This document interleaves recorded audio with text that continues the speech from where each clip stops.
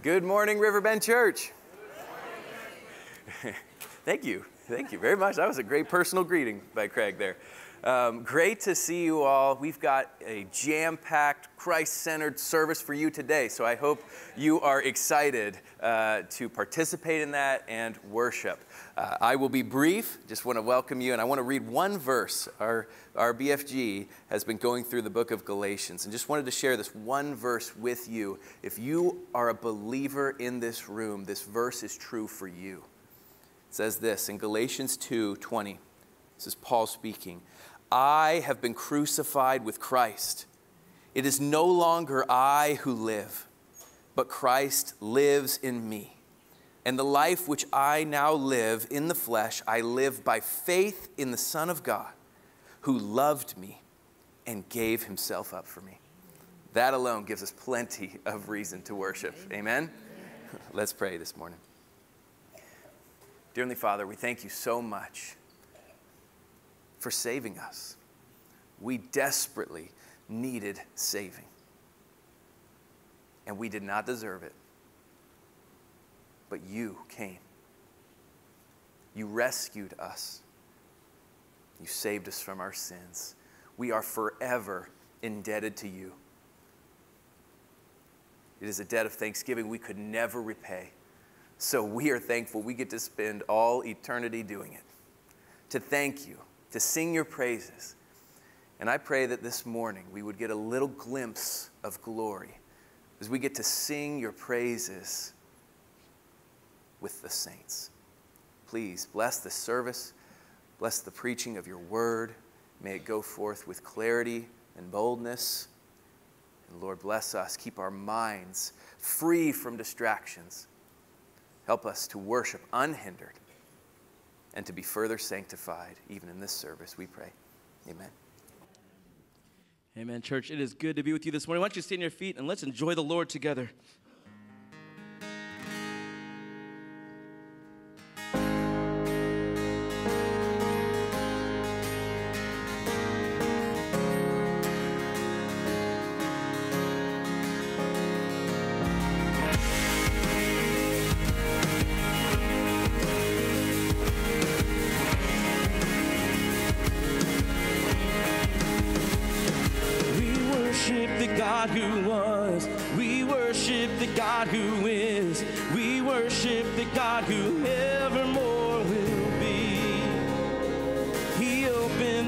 prison doors.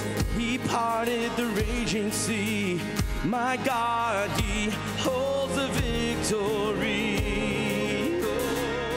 There's joy in the house of the Lord. There's joy in the house of the Lord today. And we won't be quiet. We shout out your praise.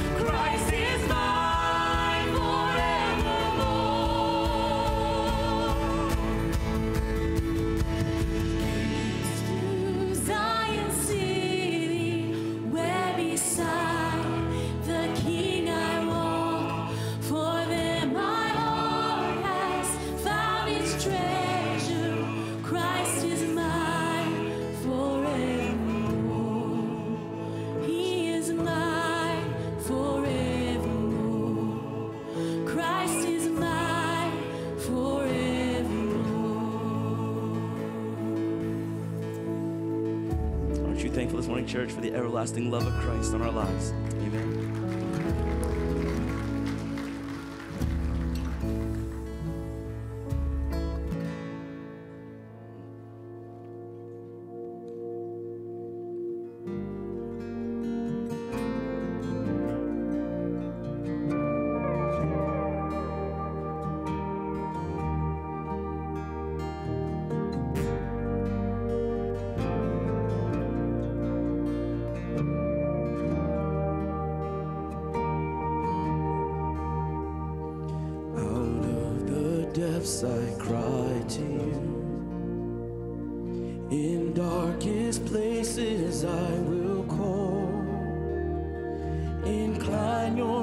to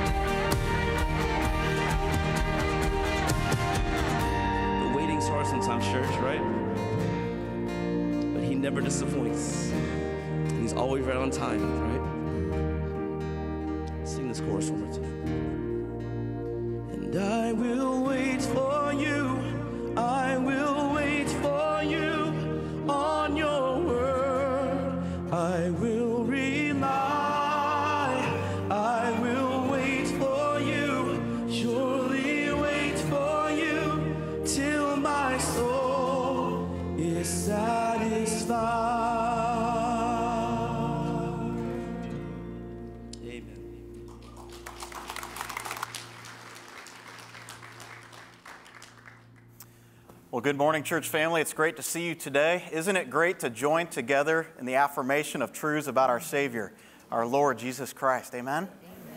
Well, I have the opportunity to lead us in the reading of God's Word this morning. And our text today comes from 1 Corinthians 15, verses 1 through 11.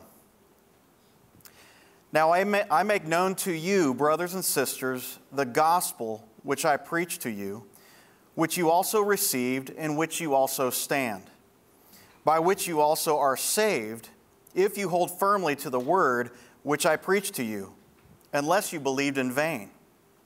For I handed down to you as of first importance what I also received that Christ died for our sins, according to the Scriptures, and that he was buried, and that he was raised on the third day, according to the Scriptures, and that he appeared to Cephas, then to the twelve.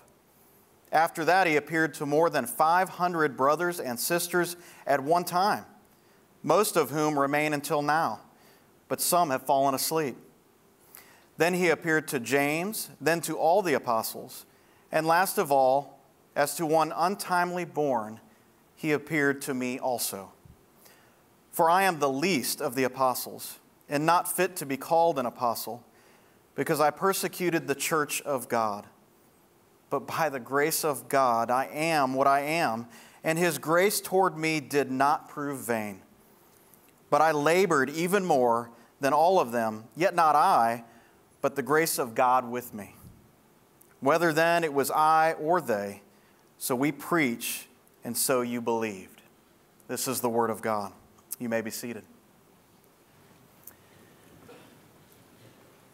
We're entering into our time of giving this morning, and there are a few different ways that you can be faithful to give this morning. We want to be mindful to be faithful in our giving. Consider, consider the Lord who has given us so much, and even in this text, consider the gospel through which He has reached us to bring us to faith in Him, that we would be right before Him, justified because of the penalty paid through the Son, Jesus Christ, on the cross. Amen? Well, let's be faithful in our giving this morning. Join with Him in what He is doing, and if you will, let us pray. Heavenly Father, thank you for yet another occasion where we get to come together as a body be reminded of what you are actively doing, Lord. You are working out your plan of redemption, Lord, because of your gospel, because of your Son, Jesus Christ, and the provision made for us, both in living without sin, perfectly obeying your law, which qualified our Savior to go to the cross and to die for us. Lord, that we might be redeemed and restored as image bearers under who you are, to your glory, Lord. Lord, help us through these givings. Uh, let it be used, Lord, to the furtherance of your gospel and of your kingdom work, Lord. Help us to join you in what you are actively doing in this church and amongst this body. And we pray these things in Jesus' name. Amen. Church Rachel's about to lead us in a song. Um, and just before she does, there have been many times um, in ministry, in the life of being with people, that you've seen just heartache, hurt. Um, and this song that she's about to sing, I'll never forget the first time I really heard it. And it was for a friend of ours. Um, some of you may know her name is Meredith, used to go here. And um, she walked down the aisle to this song. The song is called He's Always Been Faithful. And who would have known many years later that God would have taken her husband home as she's left with five boys um, here on this earth? And yet she still claims, if you know her, he's always been faithful. And many of you have your own stories, um, but this truth still remains, right? He's always been faithful. Um, the song is over 20 years old, but yet the message does not change. So uh, Rachel's gonna bless us with this song and just just soak in the lyrics of this and just remind of the testimony in your life.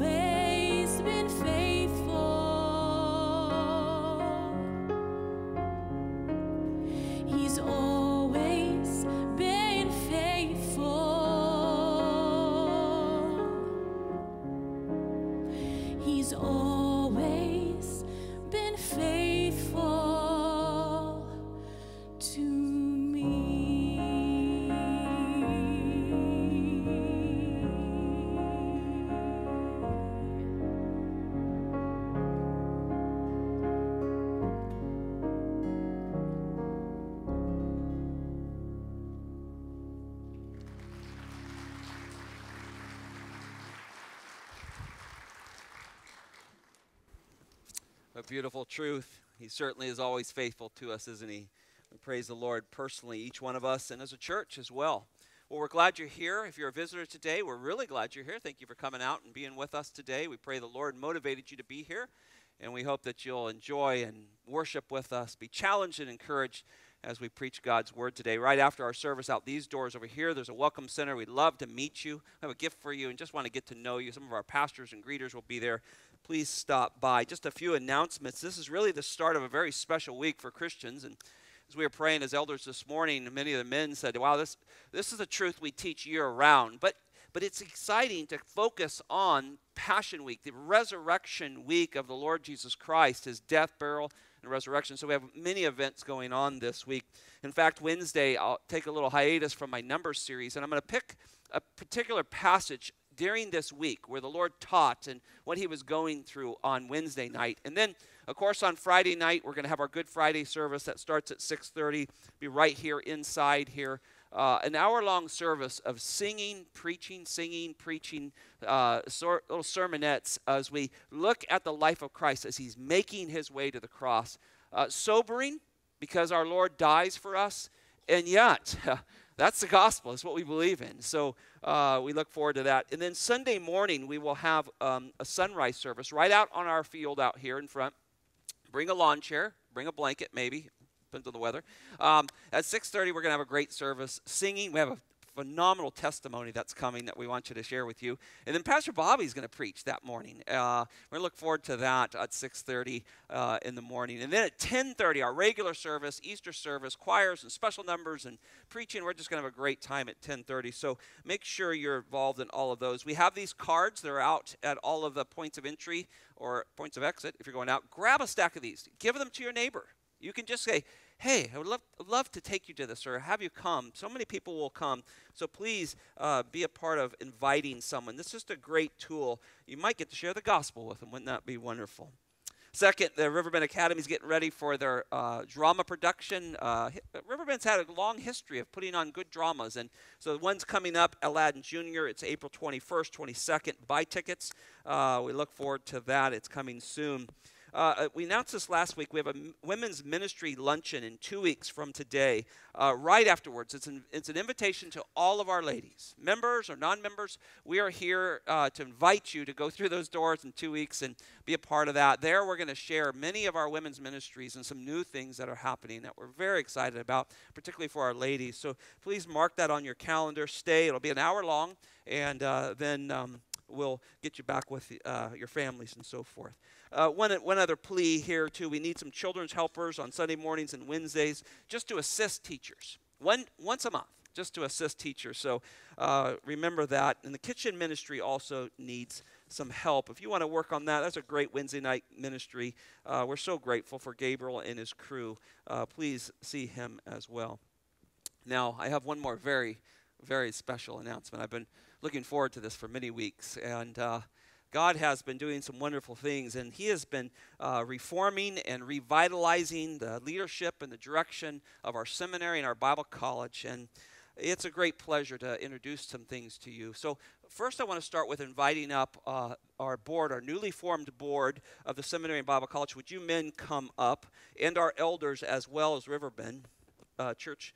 Uh, so, elders and, and Bible College board, would you please come up? And second, uh, I count it a great privilege uh, to introduce to you our new academic dean, Chris Johnson.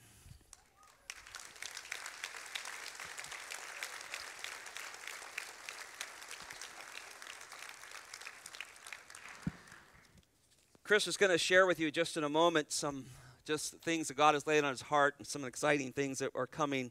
Uh, Chris has uh, just been a great blessing to get to know. I've had him in my classes at the seminary. He's a graduate, of course, but he has been married to his dear bride, Stephanie, for 20 years now. They have three children Noah, Levi, and Eden.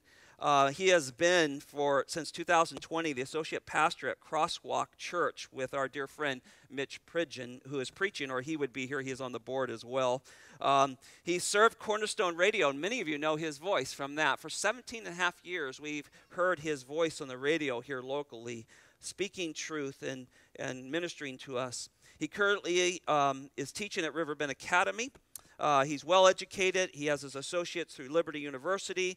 He has his BA through Masters University, and he has his own Master's of Divinity through our seminary, CTS, here, and we're excited to have him. Chris, would you come share a few words with us? Love to. Thank you. Well, thank you, Pastor Scott, and thank you very much. Brothers and sisters, I can't tell you what a privilege it is to stand before you this morning and the honor it is to just share with you some thoughts. The Bible says in Proverbs chapter 3, 5, and 6 Trust in the Lord with all of your heart. Lean not on your own understanding, but in all of your ways acknowledge him, and he will direct your path. This scripture has been so special to me and my family, and I can testify that it has been both a light and a lamp to our feet and to our path uh, these many years, and going back to even my youngest memories. I can testify to the Lord's kindness and his providence in directing our steps, even to this very place today. And so it's with great joy that I just humble myself before you and ask for your prayers in this next endeavor. I'm so thankful for the opportunity to serve as the academic dean of Christ Bible College and Theological Seminary. And I can tell you this as a member of the first graduating class of CTS, it really is a wonderful opportunity, a marvelous opportunity, truly, for students, both in our college and our seminary, to be trained and to be equipped to serve the Lord Jesus Christ with greater understanding, with greater passion, but also with greater conviction. Our commitment is to provide a Christ centered education that is the highest of qualities. And so we labor as unto the one who went to the cross for us. We labor for the one who is the Lord Jesus Christ. It's our joy to serve him in his command to make the gospel known in both the Great Commission and also to evangelize the lost and to disciple the saved. And so, my prayer is that God would glorify himself as he strengthens us for the task ahead, as he opens doors for us to be able to reach young men, young women, middle aged men, middle aged women, old men, old women, anyone who would desire to grow in the grace and knowledge of Jesus Christ. Because it is by God's kind providence, His sovereign grace, really, and your prayers, many of you here, your support, that the Lord has done great things. I want to tell you about some of those things even as we start this morning. That in God's kindness, we have been able to confer master's degrees on seven graduates.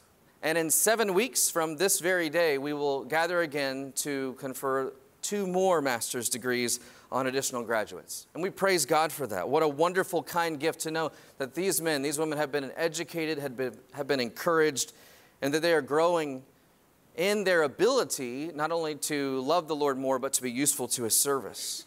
But we're also praying for additional students. We're also praying that God would open the door for many more. And as we move into the second year of our Bible college, I'm thrilled for what is ahead. I'm so thankful for the students, for the faculty, those who have served over these last uh, year here at the Bible College, who persevered through the newness of a first year. But our mission remains the same, and that is to glorify God by providing that Christ centered education.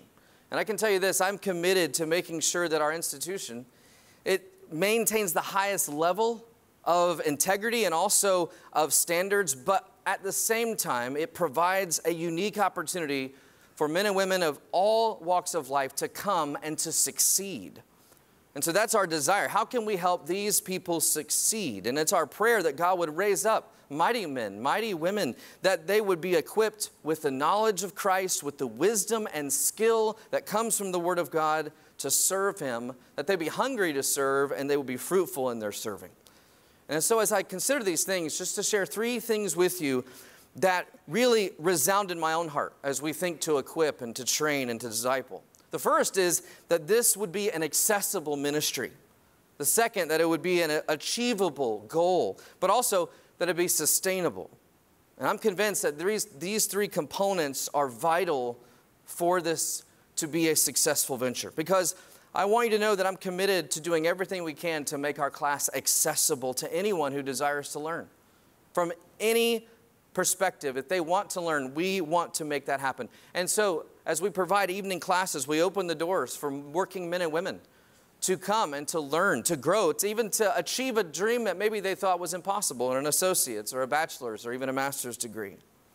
But second, to craft the classroom experience in such a way that the student can gladly say, This is achievable. That they can determine and say with joy that this is something that I can do because they know that we value every minute of their time.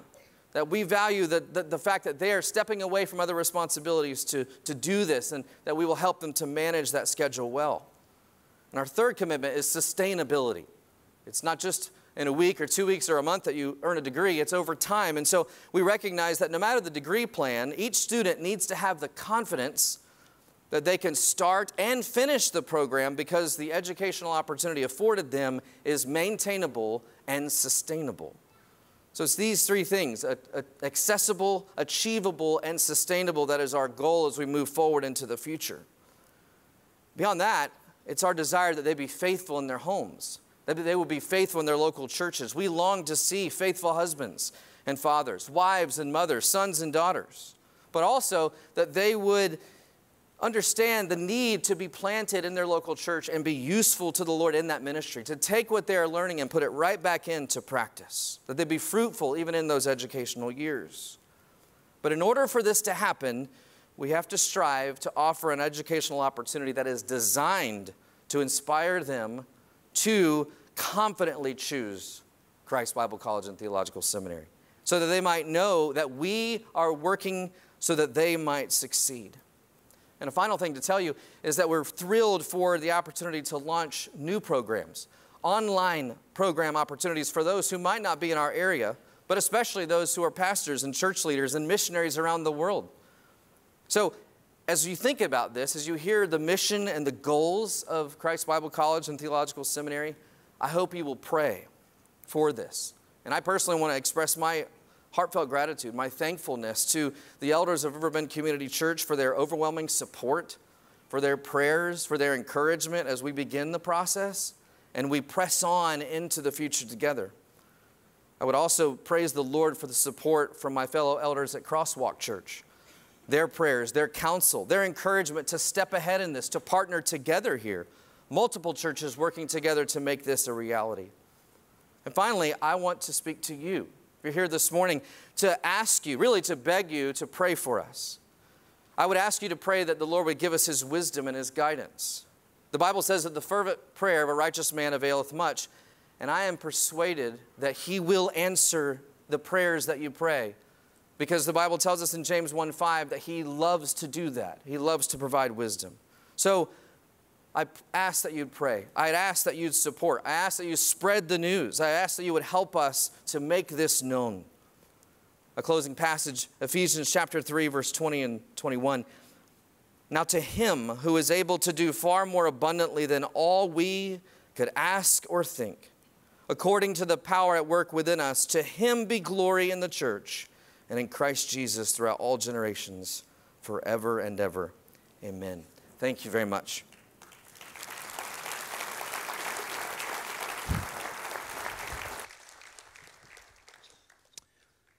Just a minute, we're going to lay hands on Chris as a board here and ask God to bless his ministry and his oversight of the schools. I just wanted to mention the board. God has brought together a unique group of men. They're uh, men of all walk of life. There's retired pastors that have served the Lord many, many years, served the church. Uh, there's some of our own elders on it. There's laymen on it. There's men from PhDs to whatever else. It's, it's a unique group of men. We look for men who desire to be a part of this and understand the direction of the school, and God has raised those men up. And I am very proud to serve with them. There's a couple of them not here because they're pastors of other churches in our area. And that's our goal to be a part and join with other churches and uh, allow this ministry to help encourage their church. Uh, to do those things. And so God is helping us reach across the many lines to, to help us be a church that is successful for His glory in this area. Well, now I've asked uh, Pastor Jason uh, Carr and our retired pastor and dear friend uh, Dwight Brown to pray for uh, Chris as we lay hands on him. Amen.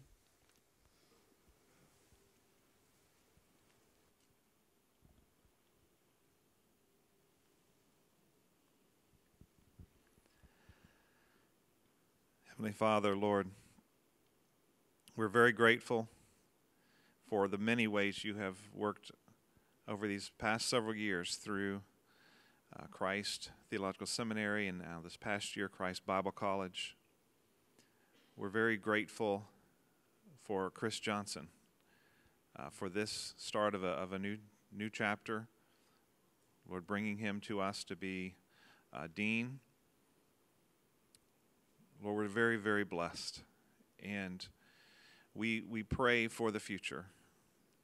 Lord, that that many would be equipped, that you'd bring many to the college, to the seminary, to be equipped as pastors and missionaries and counselors and teachers, ministry leaders. Father, that uh, through, through this ministry, through them, many would be edified in, in Christ in many, many churches throughout our area and throughout the world. And through it all, everything we do, we, we pray uh, that Christ would be exalted. Father, as, as Chris just read, please glorify yourself through these schools, exceeding abundantly beyond all we could ask or think.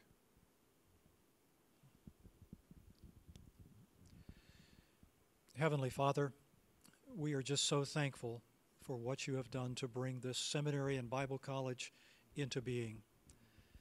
We thank you for the knowledge that all Scripture is God breathed and it is profitable for doctrine, reproof, correction, instruction in righteousness, so that the man of God might be thoroughly furnished, equipped for every good work. What a privilege it is to have your word, to be teaching it to young men who have been called into ministry, to equip them for the task that is ahead. Lord, we pray for Chris. We thank you for him. I so much remember the three courses that I was privileged to teach here. Him being in it and reading his papers and seeing his heart in class. And I thank you that you have ordained this day that he might take this role. Bless him, use him mightily for your honor and for your glory.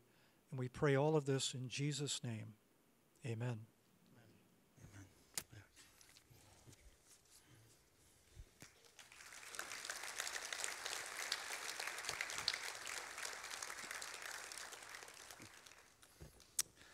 Well, thank you all for being part of that. We are truly excited about that. And um, many prayers, many meetings have taken place over the last few months as we've been preparing for this. And so we are ex- extremely excited for what God is doing. Please continue to pray for us.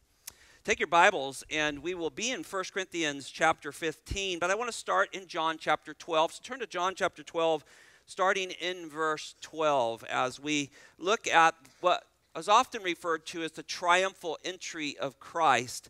But really, in a sense, it is his death march, isn't it?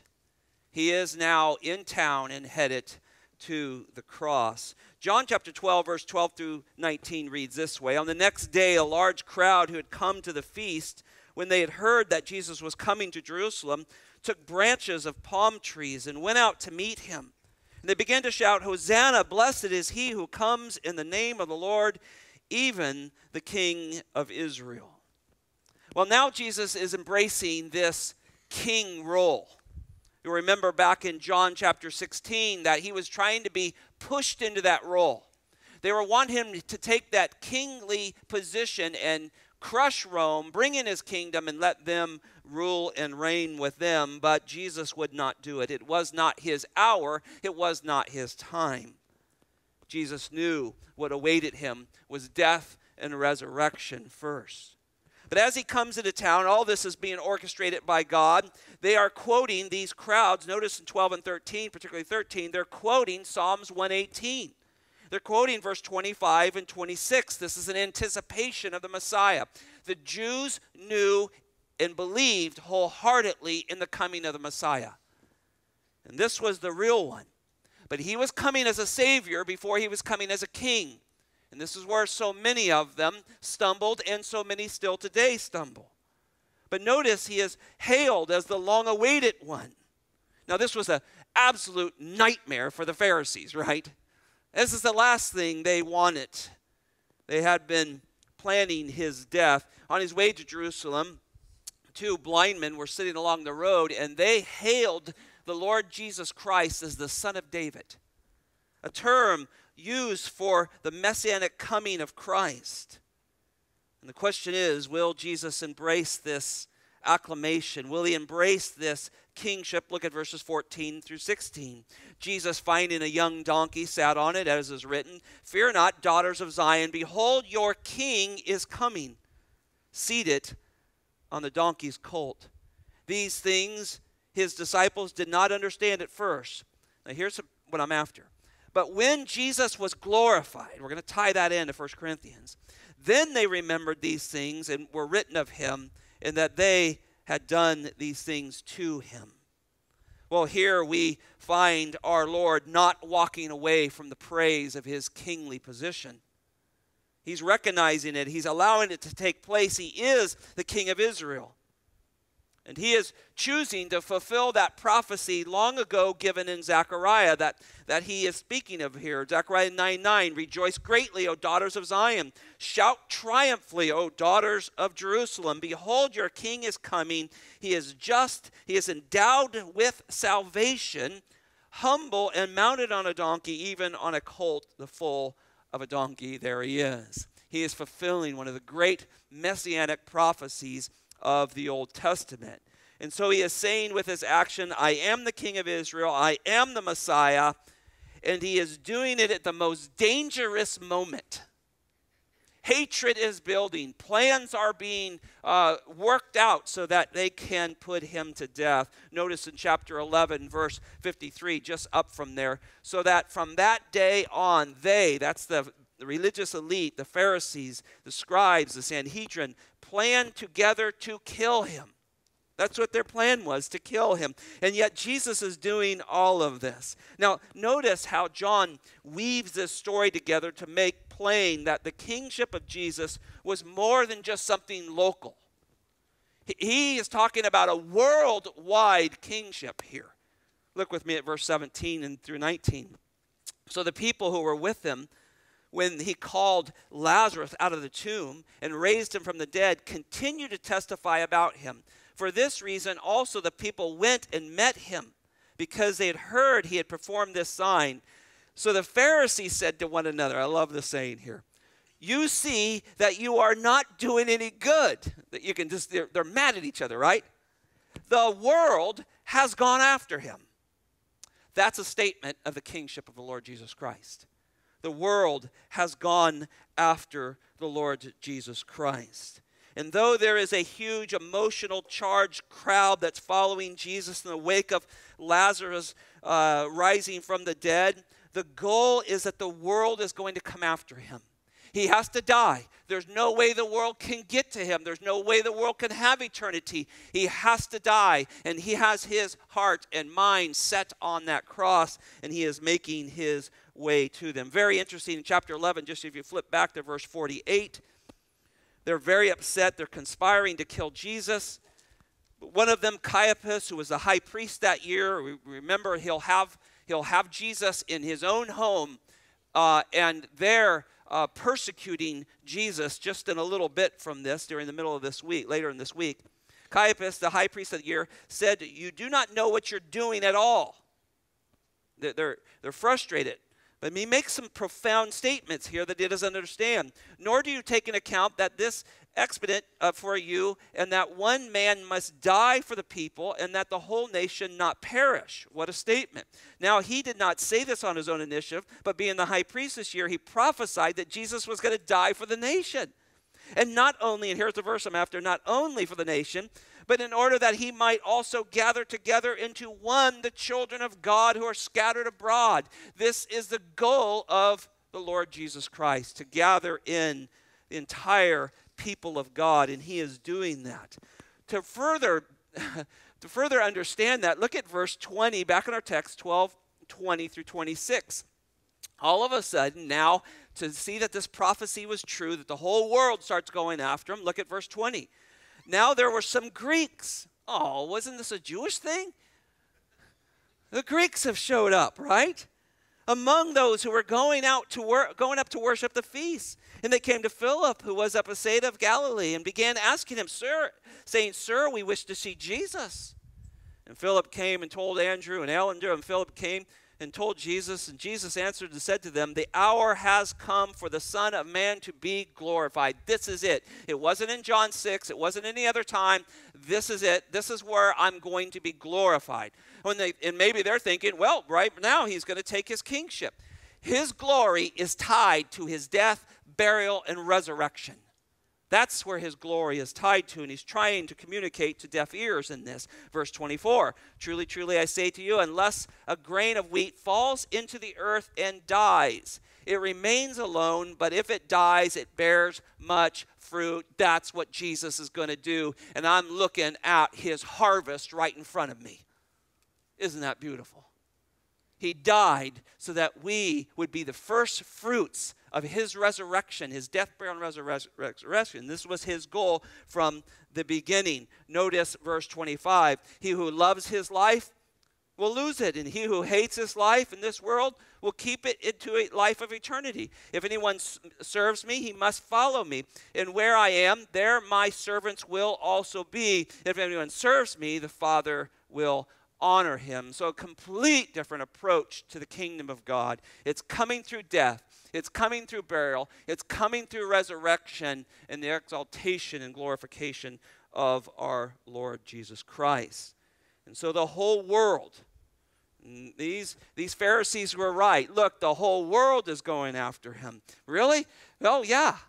And that's what's happened here at this Jewish festival that was was goals were, were the coming of the Passover and the bringing in of the harvest. Here is the Lord Jesus Christ who explains he is the fruit of the harvest. But let's not forget that there was joy and praise here. I, I, I love this triumphal entry. They were oblivious to what was going to happen. Even his disciples did not understand what was going to happen the next few days. There's tremendous joy there, and yet here is our Lord who has joy in the fact that he knows in just a matter of days he's going to hang on a cross, be put in a cold grave, and raise again. So remember the joy set before him? Remember despising the shame? We've been talking about that the last few weeks. He was ready to do this, and God gave him great joy in this day, showed great joy towards this kingly interest, uh, entrance that was fit for royalty here. But his goal is death and resurrection. That's the goal.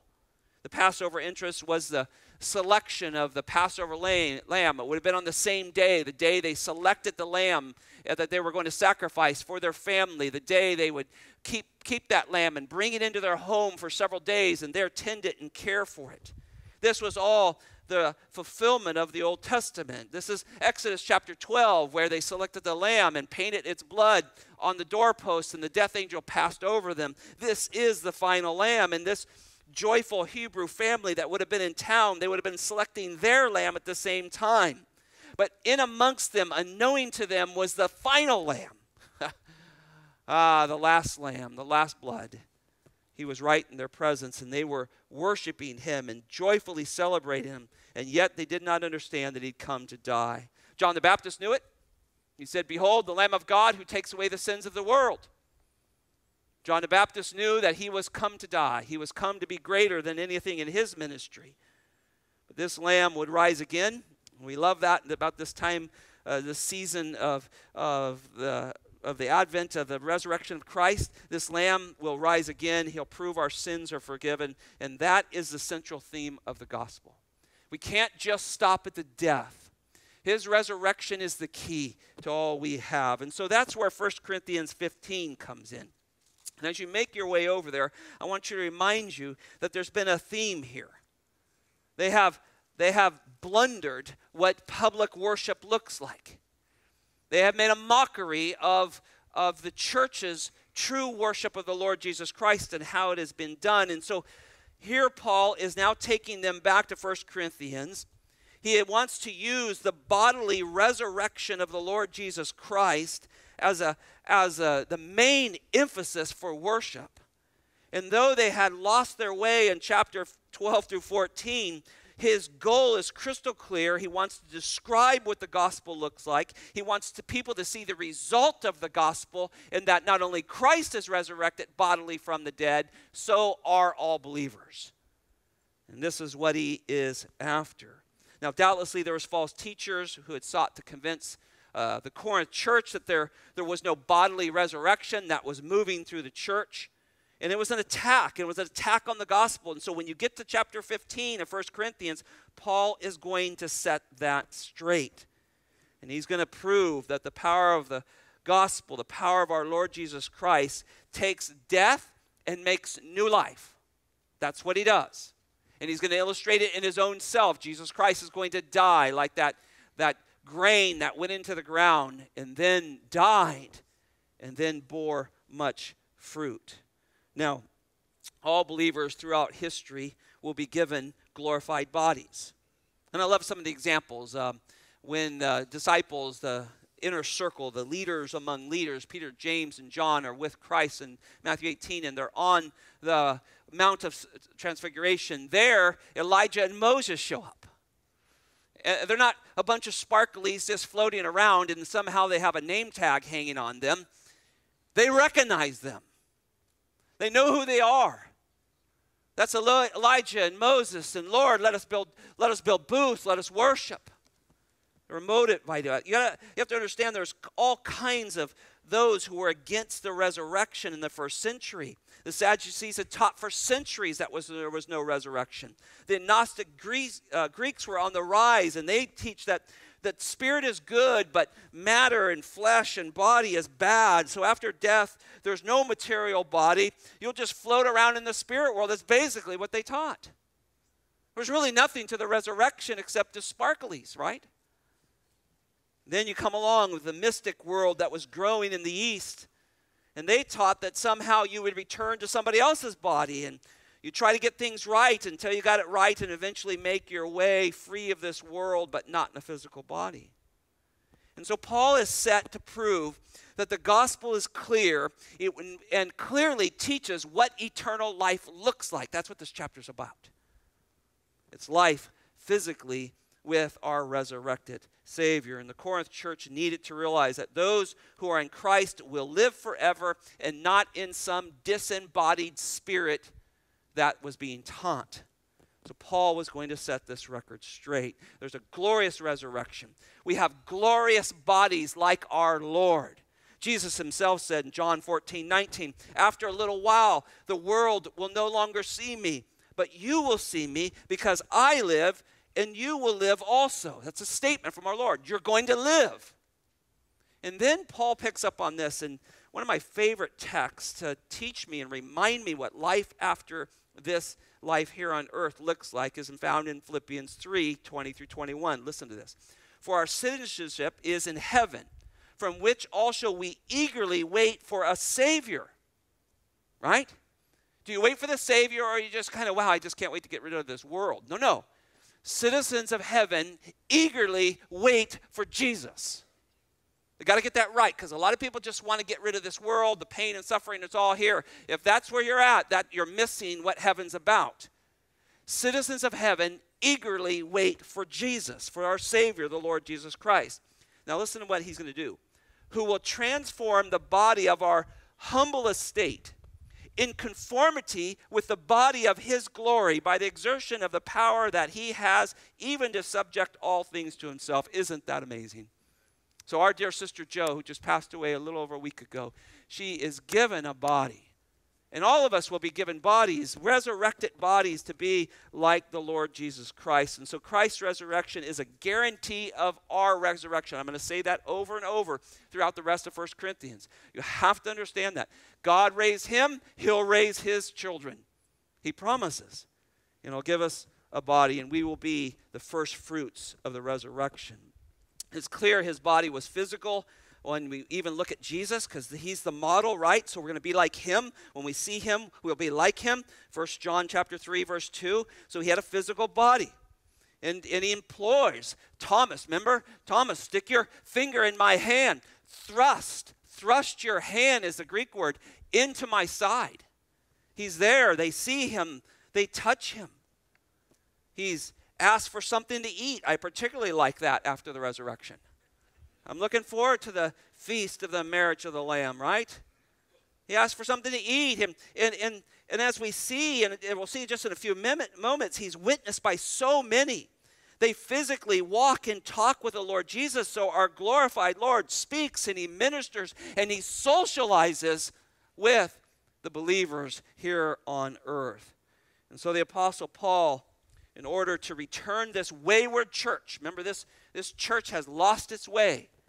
His goal is to bring them back to worship, and he's going to use the doctrine of the resurrection to do it. That's why this chapter is so glorious, and I've been trying to time it to hit this Easter week, and I'm so glad the Lord has helped me do that. And so, here as we look in the Corinth church, this letter to Corinth, you're going to get a glorious glimpse of the future as we go through this. You're going to see how glorious our Lord is and what life He has for us. And so we should care deeply about these things. So this morning, I'm going to try my hardest. We'll end when we have to, and I'll pick up next week. But we're going to look at four evidences of the resurrection. Now, the first evidence of the resurrection is saving faith. Look at verses 1 and 2 that Aaron read for us today. Now I make known to you, brethren, the gospel which I preached to you, which also you received, in which also you stand, by which you are saved, if you hold fast the word which I preached to you, unless you believed in vain.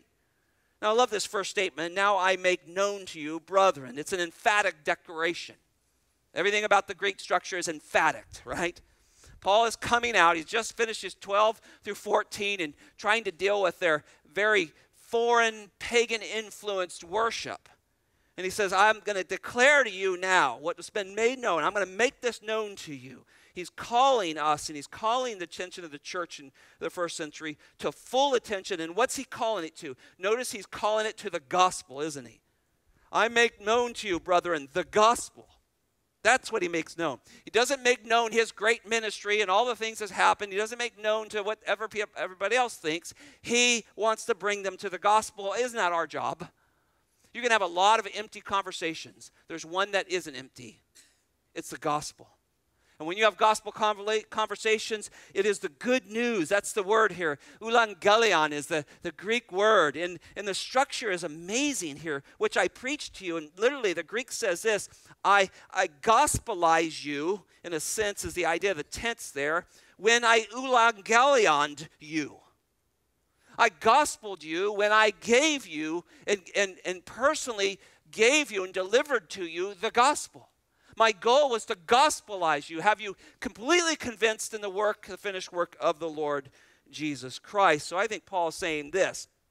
And when he came, he preached the gospel to them. They received the gospel, they stood in the gospel, and they are saved by the gospel. Notice that throughout that. This is, this is what they received. Chapter 1, just flip back real quickly, verse 18. Chapter 1, verse 18. The word of the cross is foolish to those who are perishing Right? Where's the rest of the 40 or 50,000 people of Ormond Beach? I, I, trust some of them are in some other good churches, but uh, because the cross is foolish, and you go, well, they probably wouldn't say it's foolish. Well, it's not enough to give a day. See, most of the world looks at the cross as foolish, the suffering of Christ, the finished work of Jesus, but not to save. Notice, but to us, I love that. That's circled in my Bible. I'm looking right at it. To us who are being saved, it is the power of God. And we see that term, salvation, uh, used in the past, present, and future. There's a continually aspect of God's saving grace in our life. If you drop down to verse 22, for indeed the Jews ask for signs and the Greeks search for wisdom. Notice that both of those groups are not looking for the gospel.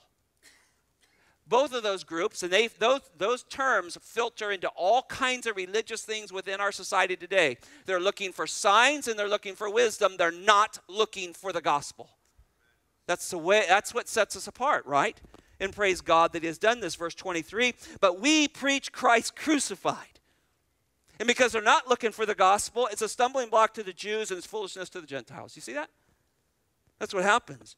Chapter 2 When I came to you, brethren, I did not come with superior speech, verse 1, or wisdom, proclaiming to you the testimonies of God, and I, this is, if you've ever been in my office, this is on my office, this is my life verse. For I'm determined to know nothing among you except Jesus Christ and Him crucified. There was nothing else that he wanted. He wanted Christ proclaimed, even in his weakness. And notice in verse 5 so your faith won't rest on the works of men. And if you think you got yourself to God on your own, you're resting your faith on yourself. See, true conversion is that we rest our faith on Christ alone. Lord, I got nothing but an empty hand. I got nothing. I'm drowning. I'm going to die. There's no hope for me. I put my faith, my God given faith, in you. So, Paul is reminding the church as you work your way back to 1 Corinthians 15 that he was the one that God used to bring the gospel to these dead souls in Corinth and give them new life. God did that through the gospel. Notice he says the word received in that first couple of verses there, which you also received. Uh, this means that there was a, a time, there's is an aorist tense, there was a time in the past when God gave you this gift of the gospel. You've forgotten that God gifted with you. Do you not do that every once in a while? Our lives maybe reflect that. We get caught up in things we shouldn't get caught up. And when we remind ourselves, we go, you know, I, I didn't even think about the gospel today. I'm, I've got all these concerns. I got all these worries. I got all these fears. Here, Paul says, Look, I, I gave you this gospel. You received it, it was a gift to you. And God opened your heart and He granted you faith so you could receive it. And not only did you receive it, notice that they stood in it.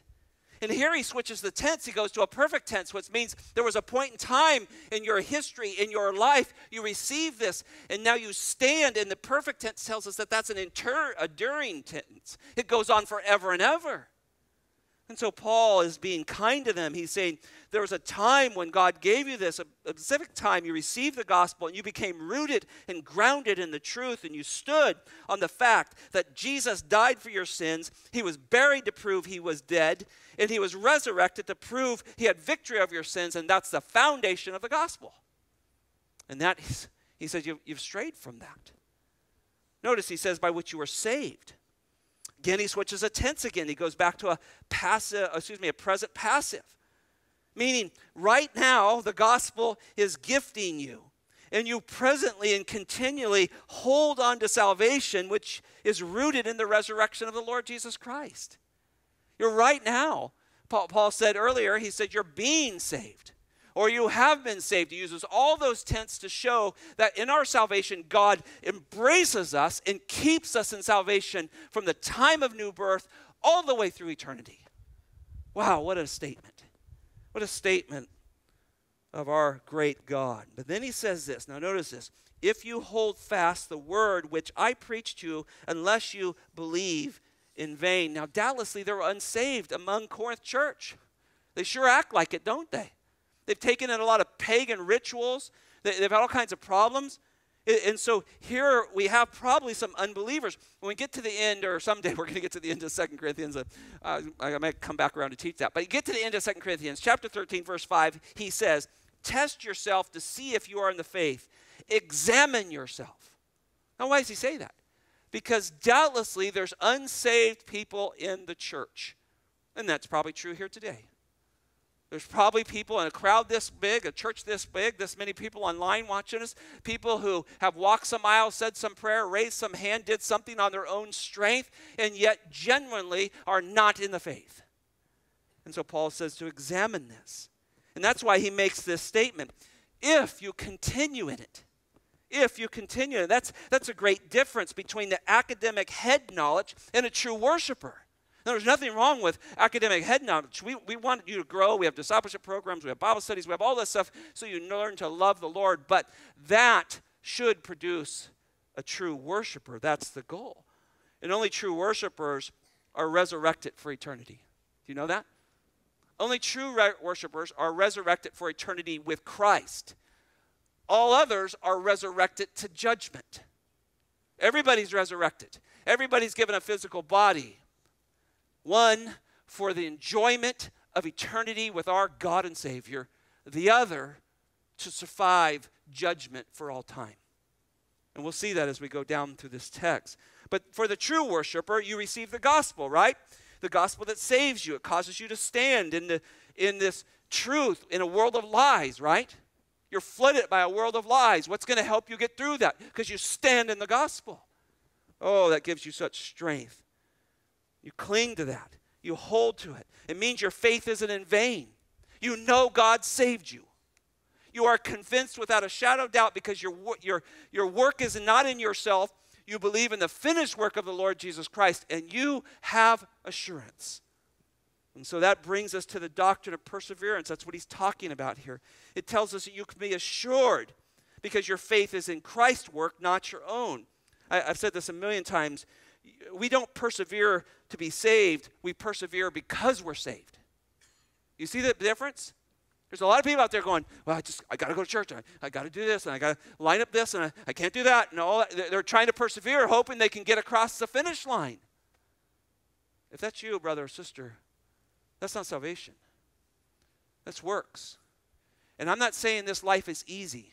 I'm not saying that, that things are not difficult here. But let me say this if you're saved, you're going to run through the tape no matter what road God chooses you to take. you will finish. It may be difficult, it may be easier. Some go home to be with the Lord at a young age and don't see all the difficulties that some of us do. God lets some of us go through some very difficult times to bring Him glory through those difficult times, to change us and cause us to be like Christ more. But whatever it is, a true believer is going to finish. You may need us to hold your hand. I may need you to hold my hand when I finish. But we're going to finish, aren't we? Because God has done a finished work in our lives. And so, for those in the Corinth church and many others, there was a lot of emotional charged relationship with some kind of gospel. But Christ himself told parables. Look, he said, seed falls on road and Satan snatches it away like the birds. Some seeds fall in rock and they spring up quickly, but they fade away with affliction and persecution. There's others that fall in the thorns and they're choked out because of world worries of the world and listen to this, deceitful desire for gain. Those things are choked out. But true faith comes to the one who believes the word of God, and God proves that believer to put his faith in the Lord Jesus Christ. And that's the one who'll be resurrected to eternal life with the Lord Jesus Christ. You're committed to the entire gospel. I'm committed to Jesus' death on the cross, that he died, and he died in my place. He became sin for me in a sense. He, he took my sin, stood in my place, substitutionary death. I believe they put his dead body in a grave to show that the wages of sin is death. And I believe the Father gave him life on the third day, and he breathed, and he came out of that grave just like he promised to show that he had beat sin, Satan, and death. That's the gospel. And this is evidence. That's we are we are evidence of the resurrection of Jesus Christ. Look at all of us. Whole room full of people here giving evidence because we believe the gospel. Amen. Second thought. The second evidence of the resurrection is the infallibility of the scriptures. Look at verses 3 and 4. For I deliver to you as of first importance what I also received that Christ died for our sins according to the Scriptures, and that he was buried, and that he was raised on the third day according to the Scriptures. Now, Paul returns again to the gospel and particularly to the infallibility in the divine revelation of God's word. He goes, Look, he goes, I deliver to you of first importance what I received. He's a deliverer of it. I love this, right? That's Paul's commission. He's commissioned to deliver the word of God. He's commissioned to deliver to every tribe and tongue and people, everyone that God puts in his way. He's not commissioned to deliver his own words. And neither are you. You can't make up your own Bible. You can't make up your own interpretation of the Bible. That's why we work hard to get it right. Because we deliver what God has given. And here, particularly, this is special revelation. The, the New Testament wasn't written. So God gave Paul this message, this gospel, the Word of God, and He's delivered it to him. Notice He says of first importance. Protos is the word there. Great word. It means priority, force, uh, foremost, first of all. It carries the idea of being chief of all things, right? And, and then he says, You received it. It denotes a reception of something. It's actually used of taking into custody something. We, we took in, when we read God's word or we hear it preached, we take it into the custody of our heart, don't we? And you go, That's for me. Right? It's so easy to think of somebody else when you're hearing a good sermon, right? Or maybe a mediocre one like this one. Um, you go, Oh man, I wish so and so was here. Yeah, I, I get that. You're trying, you want people to get saved. But it's for you. God's word is delivered for you, whether you're sitting with your Bible on your lap in your pickup truck at lunch break, or, or you're up early in the morning or late at night. God's word is delivered for you to know the gospel, to hear Him speak to you. Paul believed this with all his heart. Look at Galatians chapter 1. Let's go to your right, a book or two. He knows what God was doing in his life. Verse 11, chapter 1. For I would have you know, here he goes again, right? He, speaks so definitively. It's just no messing around. I want you to know this. He's a preacher. He, and, and let me go beyond that. He's someone who believes the gospel. If you believe the gospel, you have people in your life that you want to know this, don't you? And I love the passion of Paul, right? For I would have you know, brethren, that the gospel which was preached by me is not according to man. Praise God. Because those men always fall away, don't they? And they cause all kinds of problems, right? Praise God, it's from God. For, ne- for I neither received it from man, nor was I taught it, but I received it through a revelation of Jesus Christ. Wow, Paul's getting direct revelation here. He can. That's what God was doing. Verse 13 For you have heard of my former manner of life in Judaism. If you haven't, you're going to hear now. How I used to persecute the church beyond measure, wow, strong terms, and tried to destroy it. I was advancing in Judaism beyond many of my contemporaries among my countrymen, being more extremely zealous for my ancestral traditions, not the law. The law of God will actually lead you to the gospel because it's a tutor. He's going to say that later on. He, he was extremely strong on the traditions of man. Don't do this, don't eat that, don't be with these people, don't wear that, don't go that, you know, all that. Now, look what he says. But when God. Now, I'm a marker of my Bible. I hope you are too. That's circled in my Bible. I'm looking right at it. Isn't that wonderful? You think you've got this religious goal in your life. You're, you're, you're a good person. You're doing all these things that you think are right. I'm holding the traditions. But then God comes along and exposes you are a wretch. You think you're something, but you're not. And notice he says, But when God, who set me apart even from my mother's womb and called me through his grace, was pleased to reveal his son in me so that I might preach him among the Gentiles, the pagans. I did not immediately consult with flesh and blood, I, nor did I go up to Jerusalem to those who were apostles before me, but I went away to Arabia and returned once more to Damascus. Then, three years later, I went up to Jerusalem to become acquainted with Cephas and stayed with him 15 days. This is very detailed, but I did not see any other apostles except James, the Lord's brother. And then you, you know what happened in Acts chapter 9. I don't have time to go there. He's, he's on the way. He's, he's headed to go destroy homes and break up churches and, and, and put people to death, possibly, if need be, in Acts chapter 9. And the Lord meets him there, knocks him off his steed, and there exposes himself to Paul and says, Why are you persecuting me? What a great statement. You hurt my church, you hurt me. Good reminder, isn't it? Take care of the church. Be careful. Because when you hurt the church, you hurt Christ. He's very clear on that.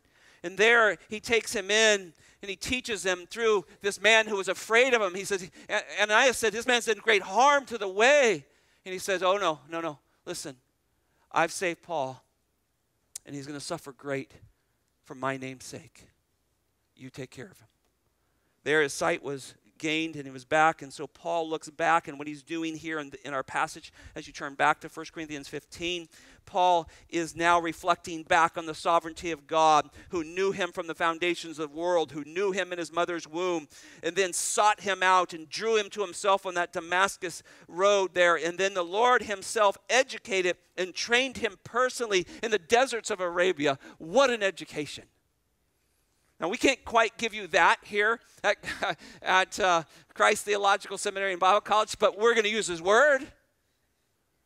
We're going to teach you to be a student of the Word, and I invite every one of you to take classes because you're going to come away with that. But what an amazing experience he has had. And so, the priorities of first importance here is His message. His message is a priority the death, burial, and resurrection of the Lord Jesus Christ according to the Scriptures. Three indispensable truths Christ died for our sins, He was buried to prove the wages of sin, and His Father resurrected Him to show without a shadow of doubt He beat all of that. Now, the disciples struggled fully um, to understand this at first. Jesus knows that. He meets a couple of them on Emmaus Road, and we're going to get through this point, and then I'll, I'll, I'll jump onto this next week. Um, and, and, what a beautiful story it is. Luke chapter 24, some of the disciples have, the resurrection's already taken place. Jesus has appeared to Peter already. These men are on the, on the Emmaus Road. They're traveling, and Jesus shows up among them. And they start saying, Well, where have you been? Do you have your head in the sand? Remember, they said, You know, it's almost like, I can't believe you don't know this because Jesus is kind of playing along like, well, what events are happening in Jerusalem? Well, the potential Messiah came and, and, and they crucified him and, and they put him in a grave. And, and then some of our own got there and it was emptied, the women and Peter. And even they, he even appeared to Peter. And so Jesus says to them, verse 25, O foolish men, and slow of heart to believe in all that the prophets have spoken. Was it not necessary for Christ to suffer these things and enter into his glory? Let me stop right there. To most of the Jews, it was not necessary. They don't need the death of a king, they just want the kingdom. That's what the world wants today. It has not changed. Just let me go to heaven, believe my little sparkly thing, and I'll be good. I'm not again, I, I you know, I vote a certain way. I'm not like those people or whatever. See, Jesus hits it right on the head. Was it not necessary for Christ to suffer these things? Absolutely was necessary. We all go to hell if he doesn't. He had to suffer in such ways. And then, oh, could you imagine this seminary class? Then, beginning with Moses and with all the prophets, he explains to them the things concerning himself and all of the scriptures. You want to talk about biblical theology? That was a great class. Oh, my goodness. And you start to see, notice Paul keeps saying, according to the scriptures, according to the scriptures in this text, right? And so Jesus here begins to teach the infallibility of the Word of God. That's what Paul's talking about. He's talking about the infallibility. He's talking about inerrancy. He's talking about authority. He's talking about sufficiency of Scriptures. That's what he's saying. That's what the gospel teaches. And so Jesus comes along and he says, the, the Old Testament's all talking about me. Genesis 22, Isaac and Abraham, an altar, knife in the air, ram caught in the thickets with thorns around its horns, substitutionary death. Off comes Isaac, on comes the male unblemished ram, all through the scriptures passage after passage pointing forward to the Lord Jesus Christ. This is what he's telling you. Can you imagine when he got to uh, Psalms 22? That is a description of crucifixion a thousand years before it was ever used. Can you imagine when you get to Psalm 16 and he says that God promised that the Messiah's body would not see decay? Can you imagine when he got to Isaiah 53? Man, what a lesson. What a lesson and every sacrifice and every lamb.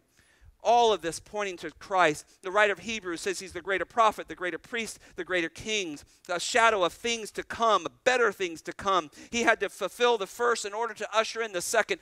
All pictures of what Jesus was doing, and he gave that example on the Emmaus Road as, listen to this, as the resurrected Savior and King, standing there with them. Ah, well, there's two evidence. I, I got to get two more next week. We're going to be, I'm going to get to those, and they're awesome because he starts to appear to people over and over. And then we're going to go down, and he's going to start take on this silly pagan view that you're not going to raise from the dead. And he's going to prove it because he raised Christ. Don't want to miss next week. Bring somebody, they're going to hear the gospel, okay? Father, thank you for this time. We want to enter into Lord's table with a right heart, Lord. Now, we, we know that you died for us. And what a, what a wonderful thing that is just not death, it's resurrection. It's as John said, it's the glorification of the Lord Jesus Christ. He was resurrected, glorified, and he was exalted and placed at the right hand of the Father, and every tongue and every uh, mouth will confess that Jesus Christ is Lord, whether they agree with him or not. And so, Lord, we are in this passage as well we will be resurrected. We will be like Christ when we see him. And so, Lord, it's so important for us to realize that, yes, this life is difficult. There will be trials and tribulations, our Lord said. But there's a great end to this. Death does not have a sting. Death cannot permanently kill, kill us. God, you through your Son took care of the second death, and we will reign with him. And we long for that day. And so, Lord, help us remember this as we read our Bibles this week leading up to the death, burial, and resurrection of Jesus Christ. Cause us to be consumed with his glory, captured by his person. May this be a great week for us as Christians, followers of Jesus. In your name, amen.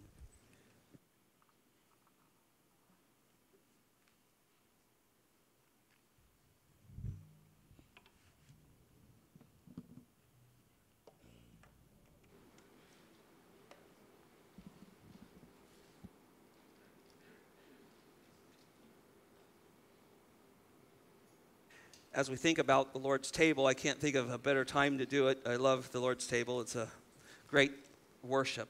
Um, but we're just about ready to put this in your hands, and I, just a few thoughts because I know we're running a little bit late here. But I want to get this into your hands, and then the team is going to lead us in a song, and we're going to sing with them, and we're going to pray, and we're going to think deeply about this.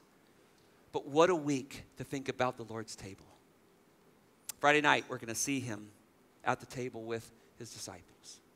And he's going to offer bread, and he's going to hold up this bread, and he's going to say, This is my body. Because he's the bread of life. Pictured all through the Old Testament. Now it's coming to him. I'm the bread of life. You've got to eat me, John 6. Many disciples did not follow him any longer, the Bible says. You've got to take me in. you've got to consume me. And you've got to drink my blood. You've got to take that in that I bodily died for you and I have the ability to wash away your sins. That's what communion, the Lord's table, is about. This cannot save you. If you're here and you're not a Christian, uh, let it go by or it can't do anything for you but condemn you actually. This is for people who believe in the Lord Jesus Christ. It's for us to say, My Lord Jesus bodily dead for, died for me, and He is my bread of life. I have no new life. I have no eternal life without Him. His blood washed away my sins, not only my past, my present, and my future. And I am white, clean, forgiven, and I stand in the presence of our Heavenly Father. That's what this is. So, this is for believers. So if you're not, let it go by. And you say, Well, Scott, I've been struggling this week. Well, I think you better take this. And I think you better think hard about that as it works towards it. Because if you're going to try to get yourself cleaned up enough to take this, you're never going to take it. Now's the time to say, God, I did not listen to you this week. I did not think of the power of the bread of life and the blood of Christ this week, and I lived a way that is displeasing to you. Will you forgive me? Because I know you have. And I take this, Lord, in remembrance that you forgave my sins. And, and let this encourage you this week to say, I don't want to fall into those same sins any longer. I want to be the husband, the wife, the, uh, the young person, the single. I want to be the person that God has saved and walk with you. Will you think about those things as we get into your hands and as the team listens, uh, uh, uh, sings to us? Will you, will you do that for me? I'm going to do it. Will you do it with me? Okay, let's go. The love of God is greater far than tongue or pen could ever tell. It goes beyond the highest star and reaches to the lowest hell. The guilty pair bowed down with care. God gave his son to win his erring child. He reconciled and pardoned from his sin. Could we redeem?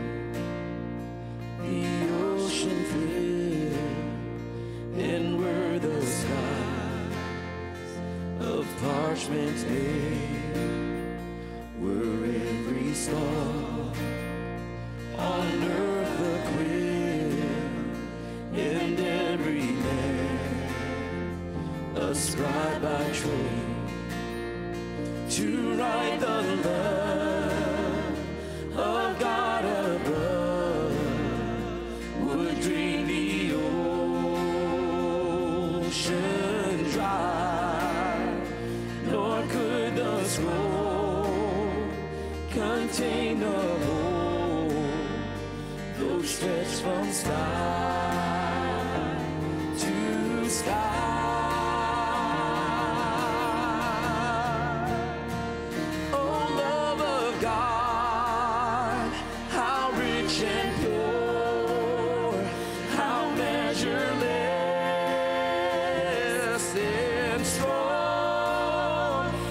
shall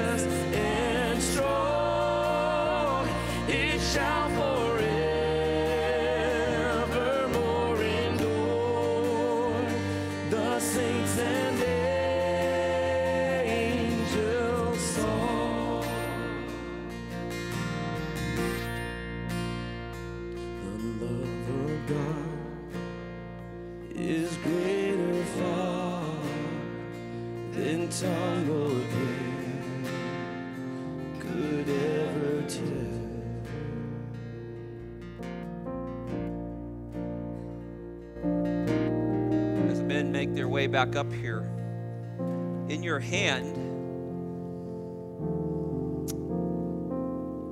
is something that represents the love of God, doesn't it? It isn't, I mean, we have to understand it is just a, a wafer, not a very good one. Um, and it's some grape juice. But it represents the love of God, doesn't it? God would love us so much that he would give his only begotten Son, right? His one and only, the unique one, the one that shares his glory and nature. He gave his sameness, didn't he? He gave it to us. And so when we think about that, and we think about that Jesus came, walked on this earth, took our punishment, became sin for us, that we might gain his righteousness through his finished work, that's love. And in your hand is a demonstration of that. So will you quietly thank the Lord for his love while I serve these men?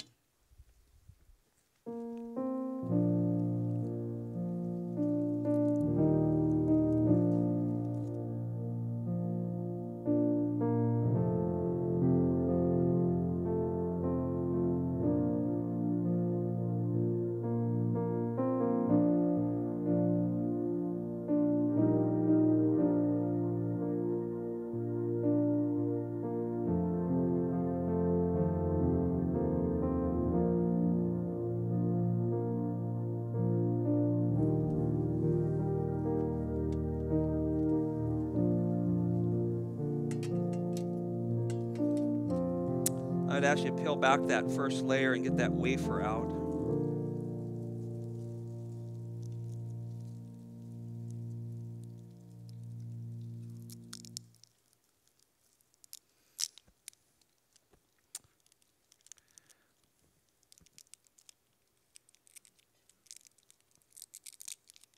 We're going to be done with these things soon.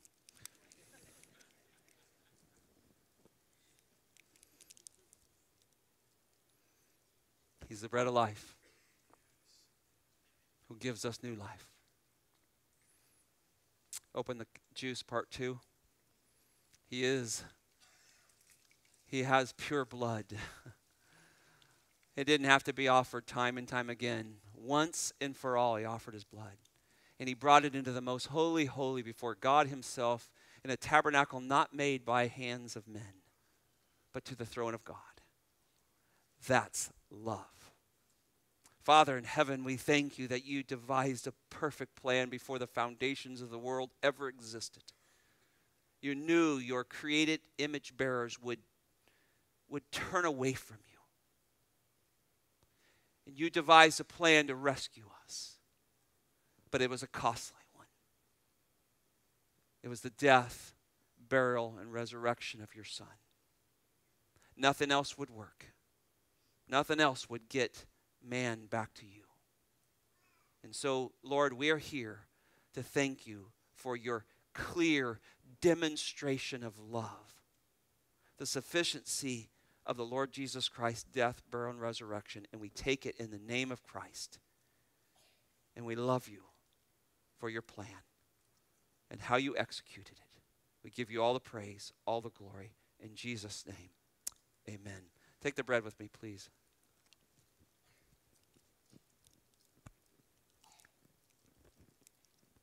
Remember the blood of Jesus Christ. Take that with me.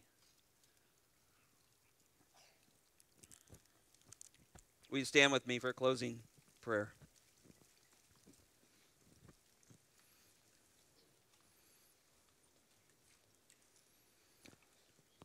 Lord, we thank you that you delivered this truth to us. The truth that we're sinners, we have no way to get to you, but you made a plan.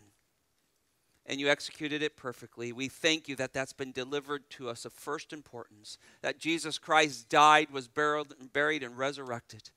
We thank you for that, Lord. We, we are grateful. We worship you. We remember you today as we've done collectively. And now, Lord, I ask that you would help us remember you as we go out those doors.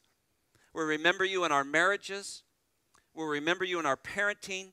We'll remember you on our jobs. We'll remember you in our neighborhoods. And we'll certainly remember you here in this church. We ask that you do this in our lives for your glory.